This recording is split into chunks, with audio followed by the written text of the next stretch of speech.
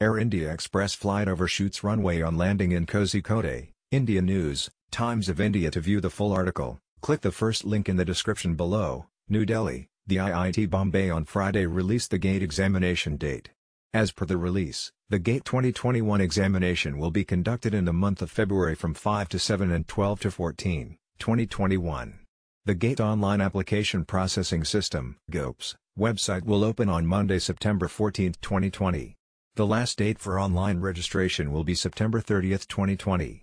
Also read, GATE 2021 may attract more applications due to relaxed eligibility criterion GATE 2021, important dates New Delhi, the IIT Bombay on Friday released the GATE examination date as per the release. The GATE 2021 examination will be conducted in the month of February from 5 to 7 and 12 to 14, 2021 To view the full article, click the first link in the description below.